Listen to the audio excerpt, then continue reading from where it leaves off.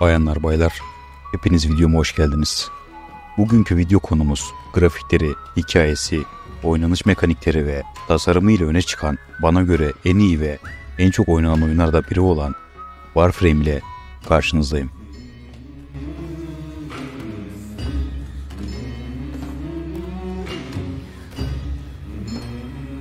Warframe oynaması ücretsiz olan pay to win olmayan bir MMORPG oyunudur. Çokça vakit geçirdiğim bu oyunu sizlere anlatmak istiyorum. O zaman hızlıca bir giriş yapalım. For generations you've slept. No purpose. No call to wake you.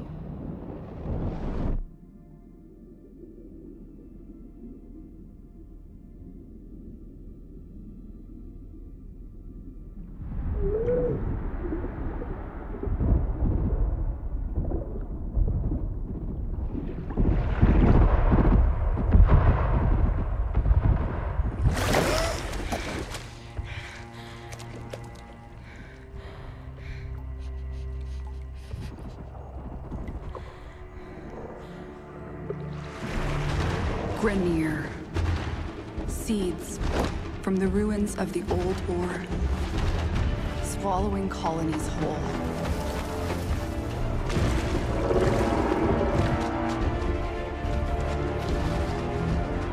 But there's still hope.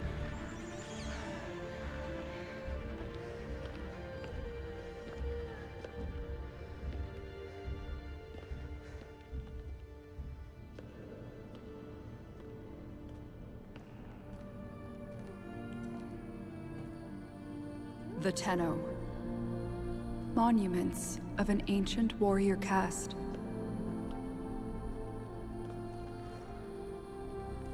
Scattered across frail worlds.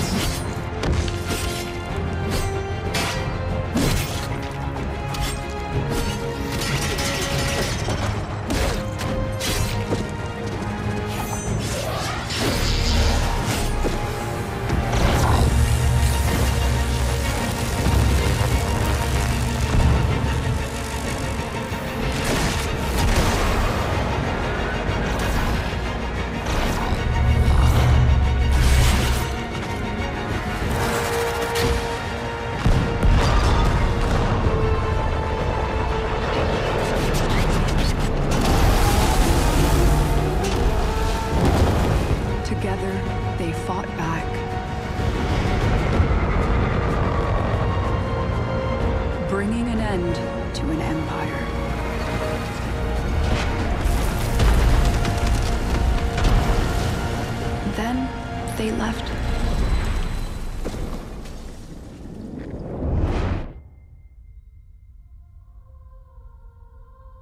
Forgotten.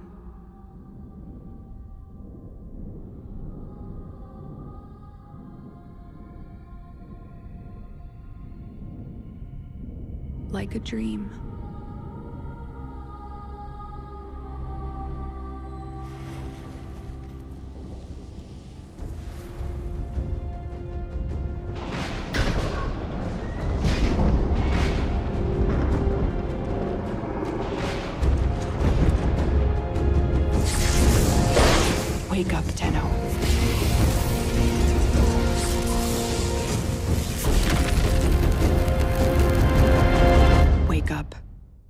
Şimdi Warframe oyunu beni pandemide resmen tutsak etmiş, hikayesi ve oynanışı ile beni benden almıştı. Tabii hem bedava olması hem de çok iyi görsellere sahip olması da cabası. Peki nedir bu Warframe oyununu benim için özel kılan veya iyi yapan sürükleyen şey? Olay şöyle. İlk olarak Tenno adında bir karakter ile başlıyoruz. Tabii bizler Tenno'nun ne olduğundan bile bir haberiz. Oyun bize başlangıçta 3 karakter sunuyor.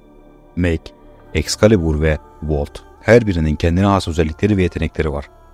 Karakterinizi seçip oyuna başlıyorsunuz. Sizi ilk etapta Kaptan War isimli biri kaçırmaya çalışıyor. Fakat göklerden bir ses geliyor. Lotus isimli bir kadın sizinle konuşarak sizi uyandırmaya çalışıyor. Ama tam başaramıyor ve Kaptan War sizi kısmi tutsak alıyor. Sonrasında Lotus Warframe'inizi onararak sizi canlandırıyor. Ve macera artık buradan sonra başlıyor. Oyunun hikayesine çok değinmeyeceğim çünkü hem çok uzun hem çok kapsamlı hem de hala devam eden bir hikayesi var. Bu yüzden bu videoyu izlenir ve istek gelirse hikayesinin videosunu da yaparım. Uyarı. Şimdi anlatacağım şey spoiler olduğu için spoiler yemek istemeyenler videoyu ileri sarabilirler. Dinlemek isteyenler için anlatayım. Warframe'ler aslında robotumsu bir kalıp. Yani içerisine girdiğimiz zırh benzeri bir şey. Biraz olsa Crysis benzeri bir yapıya sahip. Ve bunları kontrol eden bizler ise çocuğuz. Yani yıkım sonrası dünyada kalan son insan toplumu. Lotus bizlere Warframe'lerin gücünü kullanmamızda bize rehberlik eden biri. Ama aynı zamanda da Sented isimli bir yaratık gibi bir şey. Yani kısmen düşman ama tam olarak da öyle değil. 2-3 sene önce oynadığım için hikaye tarafına biraz zayıfım ve karışıklaştı işler açıkçası ilerledikçe. Bu yüzden hatam varsa kusura bakmayın. Devam edeyim. Yani kısacası oyunun ana teması bizler çocuğuz ve dünyayı eski yaşanılabilir bir hale getirmeye çalışan insan ırkının son üyesi izlenilebilir. Tabi bu oyunun neredeyse ortalığında anladığımız bir olay. Ancak aralarındaki bir Warframe'in hikayesi gereği kendi iradesi var. O da Excalibur Umbra. Diğer bütün karakterlerin içinden çıktığınızda dururken bu karakter hareket eder ve düşmanlara saldırır.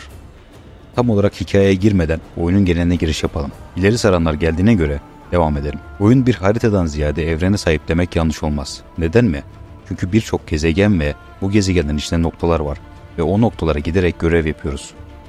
Bazı gezegenlerde relay isimli toplanma alanları gibi yerler varken bazı gezegenlerde ise açık dünyalar ve bu açık dünyaların içerisinde bosslar mevcut. Relay isimli bölgelerde klan denilebilecek bir takım yerler mevcut ve siz hangisine üyeyseniz oradan alacağınız görevler ile ödül kazanabiliyorsunuz. Oyunda iki adet geminiz var. Biri sizin sefere çıktığınız diye tabir edeceğim ve içinde durduğunuz ana geminiz. Diğeri ise Railjack adı verilen ve uzayda görev yaptığınız büyük gemi. Her iki gemiyi de dilediğiniz gibi dekor edebilirsiniz ve kullanabilirsiniz. Ancak ana geminiz diye tabir ettiğim gemide birçok şey bulunur. Örneğin Warframe ve silahlarınızı seçeceğiniz yer, bunları craft edebileceğiniz atölye, dinlenebileceğiniz bir mekan, spoiler'da anlattığım şeye gitmek ve Helmint isimli bir yere gitmek gibi. Helmint'e sonra değineceğiz. Oyunda birçok Warframe ve silah tipi mevcut. Her biri farklı özelliklere ve tiplere sahip. Düz Warframe'ler ve silahlar olduğu gibi bunların aynı zamanda da Prime versiyonları da var. Biz bu Warframe ve silah parçalarına gezegenlerin belirli lokasyonlarına giderek ya bosslardan ya da belirli noktalardan belirli şeyler yaparak elde ediyoruz. Oyun bu konuda oldukça geniş ve çeşitli olduğu için tam içeriğine giremiyorum. Şöyle söyleyeyim, bu Warframe parçalarını topladığınızı farz ediyorum.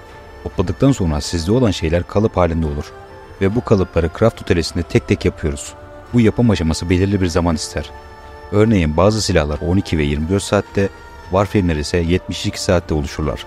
Bu itemleri craftlama malzemesini ise yine gezegenlerin belirli lokasyonlarından çıkan itemleri farmlayarak elde ediyoruz. Oyundaki rank veya level sistemi ise MR adı verilen yani Master Rank ile oluyor. Master rankınızı yükseltmek ise Warframe ve silahlarınızı geliştirdikçe oluyor. Her Warframe veya silah maksimum 30 level oluyor. Yani oyun kısaca bütün silah ve Warframe'lerle oynamanızı istiyor. Bir diğer konu ise mod isimli kartlar. Bu kartlar kullandığınız Warframe ve silahlarınıza özellik eklemenizi sağlar. Bunları normal, efsanevi vesaire kartlar gibi düşünebilirsiniz. Kimisi nadir bulunurken, kimisi her yerden çıkar. Bir de bunların üzerine daha da nadir olan kartlar vardır. Riven isimli kartlar. Bu kartlar belirli silahlarda kullanılır. Çok daha fazla özellik verir. Aynı zamanda Koi isimli özel bir item ile özellikleri de değiştirilebilir bu kartların. Şimdi buraya kadar tamamsak Prime'lara geçelim. Prime silah ve Warframe parçaları Relic isimli bir küre benzeri itemin içinde açarak çıkartabilirsiniz. Bu itemleri de yine belirli görevlerden elde ederek veya belirli zamanlarda Relay'e gelen NPC'den tedarik edersiniz. Bu küre benzeri relikleri açmak için görev yapmalısınız. Tabi içinden çıkan itemlerin oranı değişir. İyi olan itemler zor çıkıyor. Bu yüzden bazen 5, 10, 30 açmanız gerekebilir. Bazense tek seferde çıkabilir. Oyun maksimum 4 kişi olacak şekilde takımlı bir şekilde oynanır. İster tek başına, isterseniz de takımlı olarak girebilirsiniz. Ama oyuncuların %90'ı takımlı olarak girer. Sebepleri de şunlar. Birincisi çok fazla toksik bir kitlesi yok ve sana vuramazlar. İkincisi relik benzeri görev yaparken çok ucuz bir miktara onlara çıkan itemleri de alabilir veya onlar size çıkan itemleri belirli bir ücret karşılığında size vererek size çıkan itemleri alabilirler. Üçüncüsü ve en önemlilerinden biri dediğim gibi birçok Warframe var ve hepsinin özellikleri farklı. Örnek veriyorum biri size can basarken diğeri item düşürme oranınızı arttırır, bir diğeri DBS yani hasar verirken dördüncü ise size güç ve hız gibi buff verir. Şimdi her Warframe farklı özellikler gösteriyor dedik ya. Evet ama o zaman ben buff veren oynamak istiyorum. Ama bununla hasar da vermek istiyorum. Ne yapacağız derseniz işte bu noktada modlar yani o kartlar devreye giriyor. Silahınız ve Warframe'inizi şekle sokmak istediğinizde o kartlar sayesinde tank bir Warframe'i DBS'e veya DBS bir Warframe'i buffçı bir Warframe'e çevirebilirsiniz. Bu biraz da size bağlı. Şimdi gelelim az önce anlattığım Helmin sistemine. Bu sistemde başka bir Warframe'in belirli bir gücünü başka bir Warframe'e enjekte etmenize yarar. Oldukça güzel olan bu sistem oynanışa çok daha fazla çeşitlilik getirmiş oluyor böylece. Oyunda iki çeşit para sistemi var.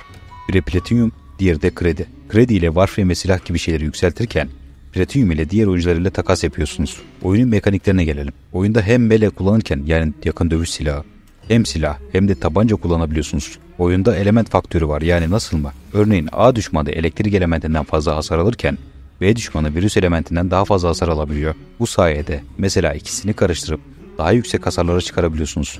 Mesela tabancanıza elektrik elementini, yakın dövüş silahınıza da virüs elementini koyuyorsunuz. Önce tabanca ile ateşleyip sonra da yakın dövüş silahıyla vuruyorsunuz. Böylece daha yüksek hasarlara çıkıyorsunuz gibi. Not olarak oyunda sürekli olarak oradan oraya uçma benzeri bir hareket yapıldığını göreceksiniz. İnsanlar yürümekten çok bullet jump adı verilen bu hareketi yaparak ilerlerler. Hem daha hızlı hem de daha atik olduğu için bu mekanik kullanılır. Ancak bu mekanik normalde oyuna eklenmeyecekken bir bug sayesinde insanlar bunu yapıyor ve çok seviyorlar. Daha sonrasında yapımcılar bu özelliği kaldırmıyor. Notumuz da bittiğine göre açık dünyaya gelelim. Açık dünyada Archiving isimli sırt roketi gibi bir şeyle gezebilir. Kaykay benzeri şeye binebilir. Yanınıza robot çağırabilir. Hatta farklı bineklere de binebilirsiniz. Açık dünyasında bosslar ve görevler dışında maden kazma ve hayvan yakalama gibi birçok şey de yapabilirsiniz. Yani olayı özetleyecek olursak oyunun hem hikayesi, oynanışı, mekanikleri, silah ve warframe çeşitliliği, gezegen ve craft sistemi ve daha birçok şeyi barındırması, bir de üstüne çok iyi grafik kalitesi ve beleş olması sebebiyle şans verilesi ve oynamayı kesinlikle değer bir oyun. Kısacası oyun birçok karakter ve silah craftla onları geliştir, açık dünyayı ve hikayeyi keşfet ve eğlen oyunu. Peki siz bu oyun hakkında neler düşünüyorsunuz? Yorumlarda bunu belirtin. Sonuna kadar izlediğiniz için teşekkür ederim. Kendinize çok iyi bakın. Bir dahaki videoda görüşmek üzere.